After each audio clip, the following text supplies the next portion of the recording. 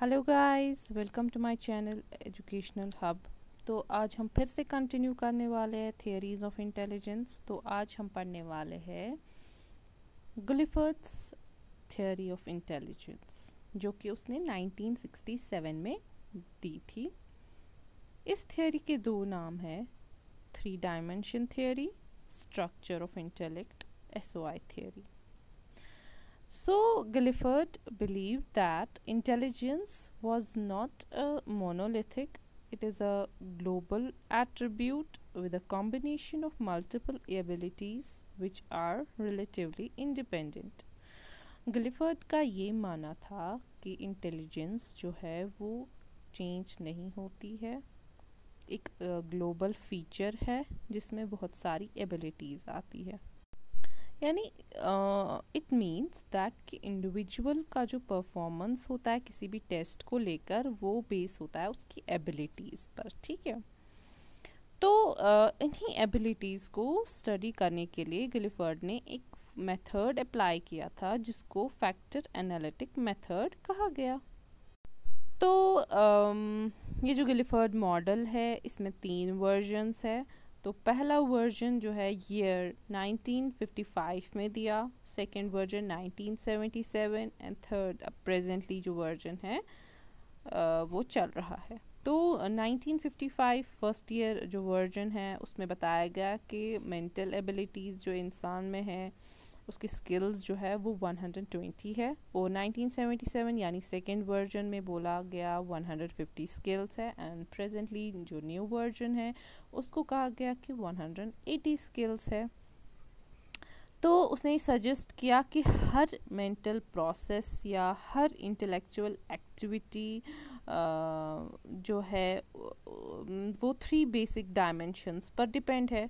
तो वो डायमेंशंस क्या है? ऑपरेशन कंटेंट एंड प्रोडक्ट यानी अभी हमने जो बात किया वर्जन्स की 1990 19 सॉरी 1955 जो फ़र्स्ट वर्जन था, उसमें जो 120 स्किल्स बताए गए थे तो उसी में बताए गए थे कि फाइव स्किल्स जो है वो ऑपरेशनल कंटेंट में आता है फोर्थ फोर जो है वो कंटेंट डायमेंशन में आता है और सिक्स जो है स्किल्स वो प्रोडक्ट डायमेंशन में आते हैं, ठीक है? सेकंड वर्जन में ऐसे ही फाइव ऑपरेशन में फाइव कंटेंट या सिक्स प्रोडक्ट में और प्रेजेंट वर्जन में अब जो वन एटी स्किल्स है, उसमें सिक्स स्किल्स ऑपरेशन में आते हैं फाइव कंटेंट में और सिक्स प्रोडक्ट में तो चलिए इन्हें आप डिटेल में पढ़ते हैं। तो सबसे पहला डायमेंशन है ऑपरेशनल डायमेंशन यानी अगर हम बात करते हैं ऑपरेशन की तो उसका क्या मतलब है? It's a psychological process which means act of thinking और we can say it's a mental process performed by humans for example thinking perceiving remembering etcetera तो सिक्स काइंड्स ऑफ़ ऑपरेशंस ठीक है, बताए प्रेजेंट वर्जन में। तो पहला है cognition memory recording, memory retention, divergent production, convergent production, and evaluation. So let's um, uh, study these in detail.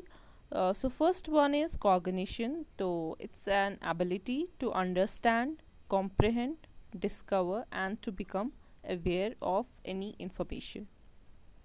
Second one is memory recording. It's an ability to integrate and uh, encode information or uh, we can say that it's an ability to uh, recall or retrieve learned information. Third one is memory retention. Uh, uh, we can say it's an ability to remember information over a period of time. In short, uh, it's the process of retrieving information after it has been encoded and stored okay coming to next it's divergent production it's an ability to generate multiple solutions to a problem and the fifth one is uh, convergent production it means uh, it's a process of uh, producing a single solution to a problem divergent में हम multiple बहुत सारे solutions निकालते हैं problems के लेकिन convergent में हम एक ही सोल्यूशन प्रॉब्लम का निकाल पाते हैं। एंड द लास्ट जो है काइंड है, वो है evaluation so it's a process और we can see it's an ability of judging whether an answer is accurate consistent और वैलिड और in simple words we can say it's reaching to decision making and judgment जो हमने uh, निकाला है problem का तो उसमें अब हम चेक करते हैं यानी uh, हम डिसीज़न लेते हैं uh, और फिर देखते हैं कि ये जो सोल्यूशन है प्रॉब्लम का वेदर इट इज़ एक्यूरेट और नॉट ओके सो so, ये थे six kinds of operational dimension में जो आते थे। अब नेक्स्ट इज़ कंटेंट डायमेंशन तो कंटेंट की अगर हम बात करें it's simply it means material okay और that is nature of information on which one works so ये काइंड्स ऑफ़ इंफॉर्मेशन है जिसमें कि ऑपरेशंस किए जाते हैं okay which on which operations are perform तो इसमें फाइव uh, काइंड्स दिए हैं कंटेंट डायमेंशन uh, में। वो क्या क्या है देखते हैं। First one is visual second auditory third symbolic, fourth semantic and fifth behavioral. तो फ़र्स्ट वन है विजुअल यानी इंफॉर्मेशन जो हमारी स्ट्यूमलाई से अराइज होती है which has been perceive through the eyes तो ठीक है हमारा जो स्ट्यूमलाई है, वहाँ से इंफॉर्मेशन आती है, यानी हमारे आई से, यानी विजुअल ठीक है? तो सेकंड है ऑडिटरी यानी इंफॉर्मेशन अराइजिंग फ्रॉम स्ट्यूमलाई यानी which has been perceive through ears and third one is symbolic information is perceive through symbols और साइंस जिनका जो है अपना कोई मीनिंग नहीं होता है, ठीक है? तो फोर्थ वन इज़ सिमेंटिक यानी information is perceive through words और सेंटेंसेस अब वो वर्ड्स और सेंटेंसेस क्या है? वेदर ऑरल हो रिटर्न हो और साइलेंटली इन वंस माइंड जहाँ पे कोई एग्जाम्पल्स नेसेसरी नहीं है देना। And fifth one is behavioural यानी information perceived as act of individual यानी इंडिविजुअल जो है जब इंफॉर्मेशन परसीव करता है तो उसको वो कैसे uh, करता है उसे कैसे बिहेव करता है तो उसे बिहेवियरल काइंड कहते हैं।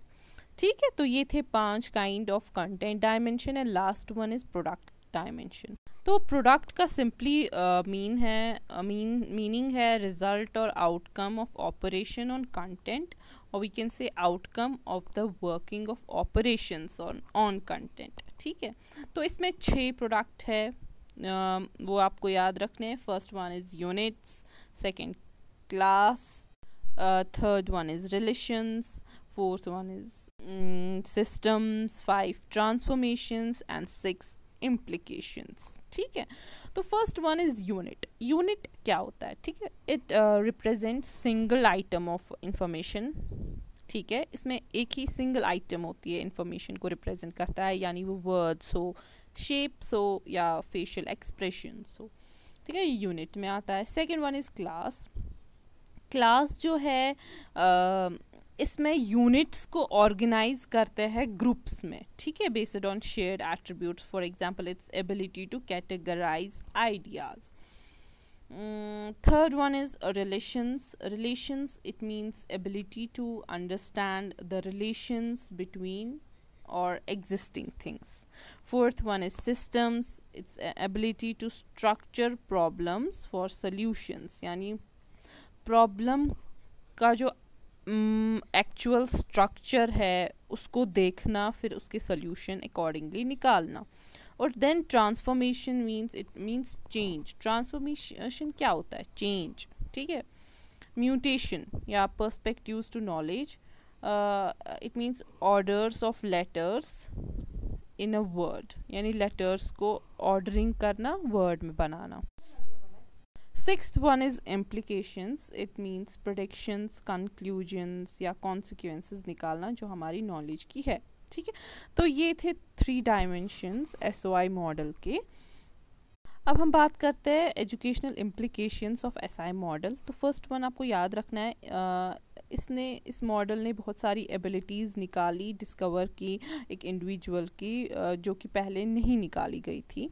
और सेकंड आपको याद रखना it studies individual differences in society and third है it was helpful in conducting various test suitable to different age groups तो आज था जो आज हमने पढ़ा, वो वो था ग्लिफर्ड्स मॉडल इंटेलिजेंस की जो थियोरी है।